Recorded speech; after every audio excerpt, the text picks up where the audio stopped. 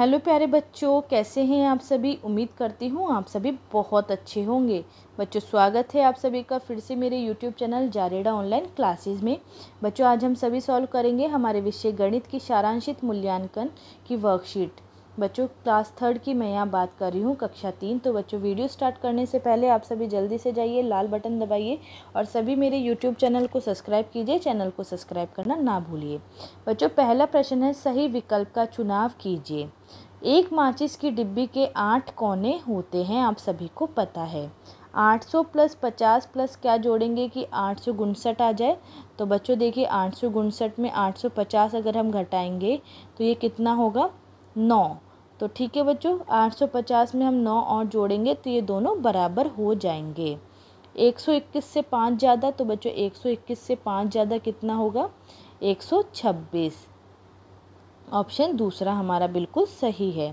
सौ, डेढ़ सौ, दो सौ। तो बच्चों सौ में हमने पचास जोड़ा, डेढ़ सौ हुआ। डेढ़ सौ में पचास जोड़ा, दो सौ हुआ। बच्चों इसी तरह दो सौ में पचास जोड़ेंगे तो कितना होएगा? ढाई सौ। तो ऑप्शन दूसरा हमारा सही है। आपकी पानी की बोतल की लंबाई किसमें मापी जा सकती है? तो बच्चों, पानी की बोतल की लंबाई सेंटीमीटर में मापी जा सकती है। अगला है बच्चों, सही या गलत बताइए। एक किलोमीटर बराबर एक हज़ार मीटर बिल्कुल सही है। एक ईंट के छः कोने होते हैं तो बिल्कुल बच्चों, ये गलत है। एक ईंट के आठ कोने होते हैं। तीन अंकों की सबसे छोटी संख्या नौ सौ निन्यानवे है तो बच्चों, ये भी गलत है। तीन अंकों की सबसे छोटी संख्या सौ होती है। अगला है, आपकी पेंसिल की डिब्बी की लंबाई सेंटीमीटर में मापी जा सकती है। बिल्कुल मापी जा सकती है। एक ड्राइंग शीट के तीन किनारे होते हैं। तो बच्चों, ये गलत है। एक ड्राइंग शीट के चार किनारे होते हैं। अगला प्रश्न है बच्चों, निम्नलिखित प्रश्नों के उत्तर दीजिए। अंक तीन पाँच ज़ीरो नौ एक का प्रयोग करते हुए दो अंकों की छोटी से छोटी संख्या लिखे। तो बच्चों तीन पाँच ज़ीरो नौ एक की सबसे छोटी दो संख्यों की, दो अंकों की संख्या कौन सी होगी? दस। बयालीस और सैंतालीस का योग ज्ञात कीजिए तो बच्चों बयालीस प्लस सैंतालीस कितना होगा? इसे हम जोड़ेंगे तो ये होगा नवासी। नब, बानवे में क्या जोड़े कि उत्तर सौ हो जाए तो बच्चों सौ में, सौ लाने के लिए हम बानवे में क्या जोड़ेंगे? तो बच्चों हम बानवे में जोड़ेंगे आठ तो ये हो जाएगा हमारा सौ। पाँच सौ से दस अंक छोटी संख्या क्या होगी? तो बच्चों 500 से 10 अंक छोटी।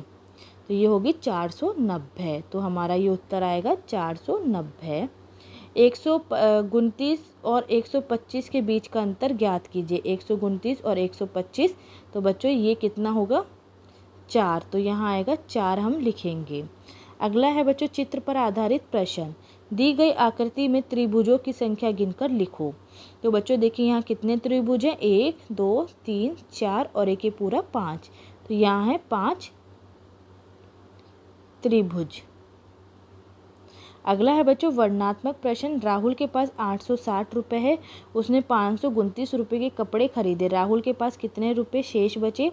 तो देखिए बच्चों, कुल राहुल के पास कितने रुपए थे? आठ सौ साठ। कपड़े कितने के लिए बच्चों उसने? पाँच सौ उनतीस रुपये के।